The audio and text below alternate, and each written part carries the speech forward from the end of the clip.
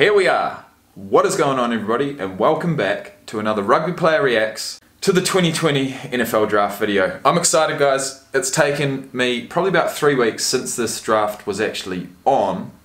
Yeah, it's been about three weeks. April 23rd, today's the 9th of May, probably about two and a half weeks. And, uh, well, in that time, all I've done is become more and more excited to see where these college players land and what teams I'm going to have to follow this coming season. So with that being said, guys, we're here. Picks number one to five. Commissioner Goodell. I think that's his name. Goodell? Goodrill? Goodell. Roger Goodell. Let me check that. Roger Goodell. There he is. Okay, so this year was a virtual draft. The very first virtual draft ever performed, I believe, due to the coronavirus lockdown, which we've all been in. Like I said, I haven't watched anything, I haven't seen any clips, nothing, so I'm interested to see how they, quite interested to see how they conducted it. So without further ado, here we go, pick number one, I already know who it is. I know who pick number one and pick number five is. Apart from that, that's it. So let's get into it guys. We've got three brand new picks that I have no idea who they are. I think Chase Young is going to be in the top five. I think Jonathan Taylor is going to be in the top five. I know that Tua is going to be in the top five. And I think that one of those massive linemen are going to be in the top five. Or possibly a cornerback. You know what? Why am I even thinking about this? Let's watch. I've been up and working to the morning, yeah. Yeah, they been sleeping now, I swear they storming, yeah. Yeah, and I swear I'm cooking like a foreman, foreman. Uh, and my foreman jumping like it's Jordan on my way. Vroom, vroom, tell him out my lane, I've been praying. Yeah, yeah, gotta say this thing, I'm the same. I don't need another person telling me Draft this way is a new experience for all of us, but some things remain the same. Is that right? First, the hugs. Sharing that special moment with a player when he is selected is a big highlight for me.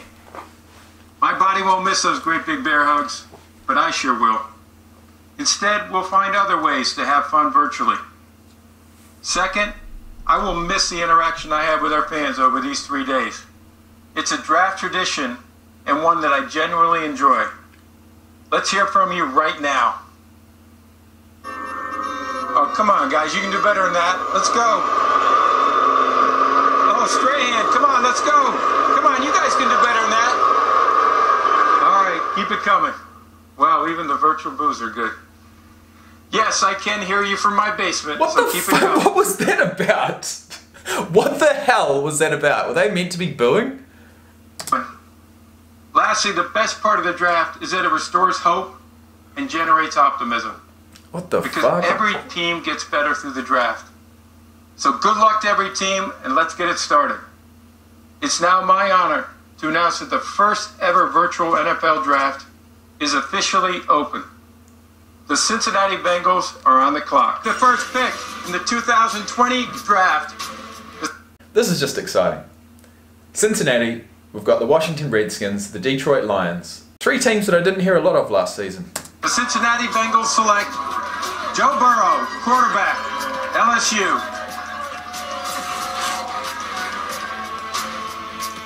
And there you see Joe with mom and dad, and you have to wonder what's going through his mind right now. Remember, when he entered the transfer portal, he said one more time he wanted to go to Nebraska, and Scott Frost, the coach, said, Is he better than what we got?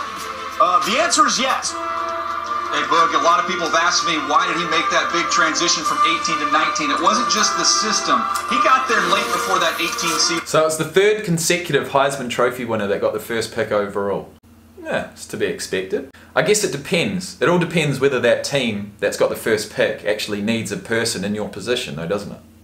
Didn't get a chance to get comfortable, and he had a little rust. He hadn't played a lot of football in three years, but what we saw this year was outstanding. How about the field vision, the awareness? You read the safety, vacate, go towards the middle of the field.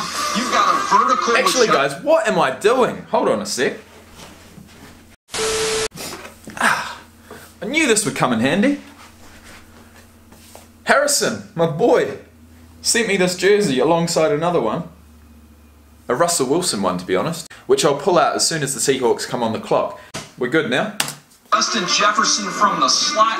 You take that all day long. He identifies, he attacks, and he drops this ball beautifully in the bucket. How about working in the middle of the field? Anticipation and ball placement. Actually, oh, it's the first time I've focused on the ref ever in the last two years, and it's because I thought that this ball was going to hit the ref right in the face. Watch this. Oh, beautifully in the bucket. the ref sees it. He's like, oh, interesting. Working in the middle of the field, anticipation and ball placement doesn't get better than that. And then the toughness. We've all talked about that toughness with Joe Burrow. His eyes don't drop under pressure. Hang in there.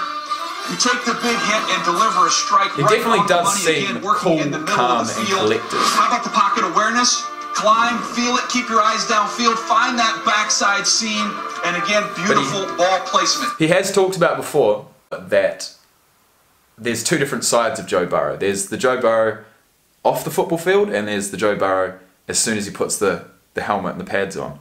And that, that football player, Joe Burrow, is a is a no nonsense, whilst also being cool, calm, and collected. You know, success driven player, and that comes from his family. That comes from his upbringing. That comes from everything. I'd better press play. If you want to nitpick him, he played with an all-star cast of receivers, so every now and then he got away with a throw like this one that he might not necessarily get away with at the next level. But Lewis, outside of just pure top-shelf arm strength, I love everything Bengals about head coach. With the second pick in the 2020 NFL Draft, the Washington Redskins select Chase Young. Chase Young, Ohio State. Ohio State. Chase. Hold on a sec. Ah, that's a bit better. Chase Young. chaos in every single game that I watched. Even the Clemson game, the stat sheet might not show it, but I charted five pressures in that game despite getting double, triple teamed, three step drops, getting away from him. He still impacted the game. This Washington Redskins team was last on third down defense. That'll change. With the third pick in the 2020 NFL Draft, the Detroit Lions select Jeff Okudah, defensive back, Ohio State. Wow. Okay. They must have look once again. It's it's the position that the team needs, right? They must have needed a cornerback. Jeff Okudah. He is a guy. He's well. He's a guy that stood out to me basically because I took his screenshot to be the picture that I used on my defensive back reaction thumbnail. So his face and his you know structure and his physique and the way he runs has has stuck in my mind because he's the player that I, that I chose. Detroit Lions. And there you see the reaction in Grand Prairie, Texas, where Jeff Okudah is from. Third pick overall. Off the board. Here's what's really interesting. The top three picks in this draft, at one time or another, Now, this is an interesting question. Would you rather go third pick of the draft, but to a team that you could say might not be your favourite? Or would you rather go, okay, let's say pick number 30, but to a team like the Patriots? Let me know in the comment section below. at Ohio State. What do you like most about what you see in Okudah's This guy's going to get paid big. Well, Trey, I see the size and the length in somebody that is outstanding in press coverage. He wants to play physical at the line of scrimmage. We saw him do it against some of the best wide receivers in this year's draft class. He's got the fluidity to be able to open up. He can drive on the football. He can find and play the football. So I thought he was the most complete cornerback in this year's draft class. Hang on, is this guy from Ohio State? Did I just miss that? I did. He's from Ohio State. I see the size and go. the length and somebody that is outstanding Boom. in press coverage. He wants to play physical at the line of scrimmage. We saw him do it against some of the best wide receivers in this year's draft class. He's got the fluidity to be able to open up. He can drive on the football. He can find and play the football. So I thought he was the most complete cornerback in this year's draft class, and I honestly did not think it was very close. The Detroit Lions have to get better against the pass, and this was the best option for them to get that done. Imagine that catch. So he's going to be able to he's going to be able to match up quite well with the taller receivers. And what I need is a bit more light in this bitch. It's not very light in here, is it? In fact, it's bloody dark. Oh well.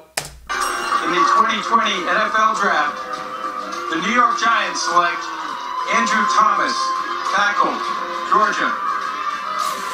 Not a surprise that it's an offensive lineman, but perhaps somewhat of a surprise that it's this offensive lineman, Andrew Thomas. Yeah, Trey starting 41 games in the SEC. I don't know that I saw this guy at the combine. played left tackle, he's played right tackle. You know, everybody had these tackles in a different order. For me, he was my oh, fourth offensive tackle, but I do feel like he has a very high floor. You know exactly Wow. what you're getting with him. He's going to be able to uproot people with a Oh, run bro. game, and he's going to have a firm That's in pass protection to hold up there. I did not see elite recoverability, elite quickness, or elite athleticism. I think that they've got themselves a solid, steady player, but I thought there were better options on the board at the position at this point in time if they were going to He's go got a solid punch. That's what he's got. In the 2020 NFL Draft, Oh, here we go.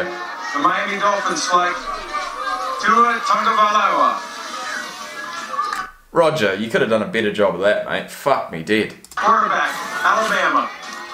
Well, there it is, which means for the first time since Kellen Moore, who is now the Cowboys offensive, offensive coordinator, threw a pass, we're going to have a left-hander who's going to throw a pass.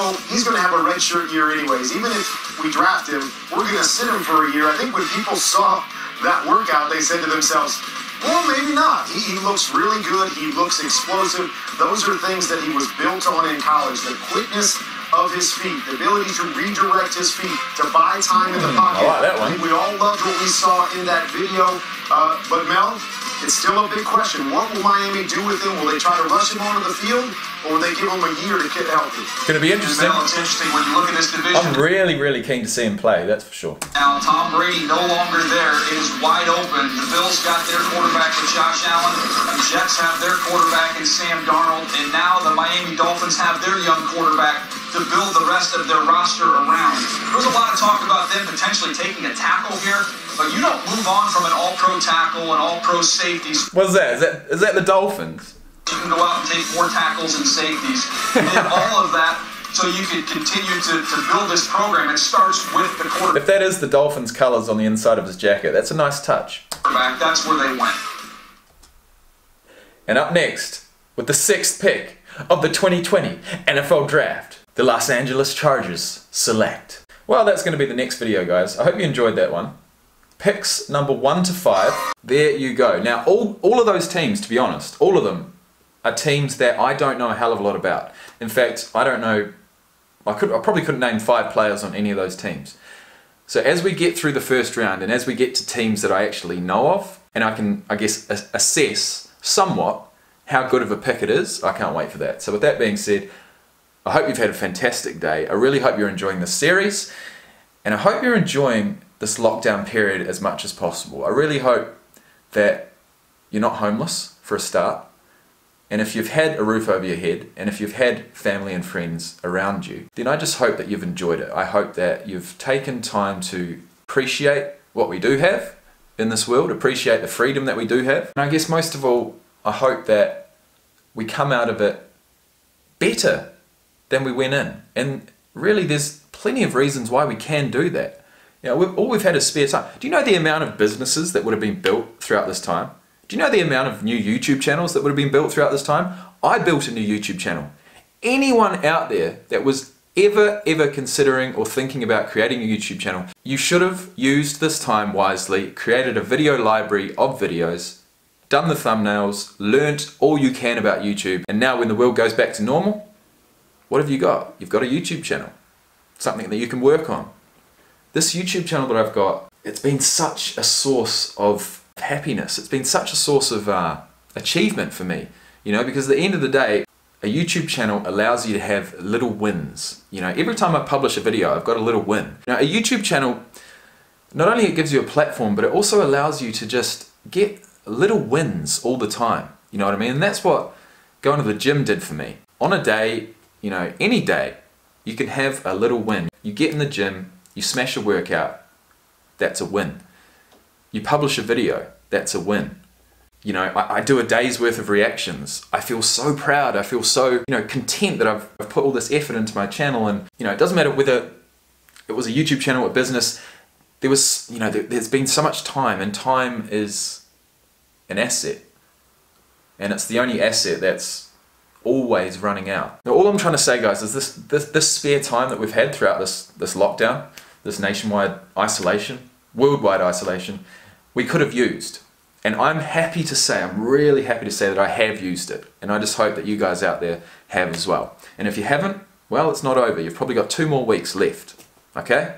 So if you're thinking about starting a YouTube channel, do it.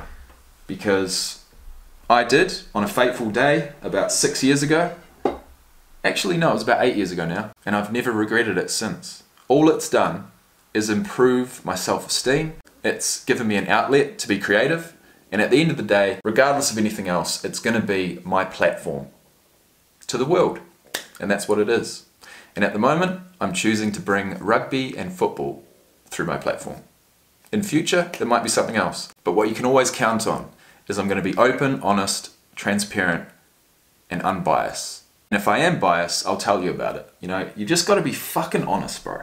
Just be honest. At the end of the day, honesty is the best policy and I'll see you in the next video. That was about enough talking. Sorry guys. Peace out.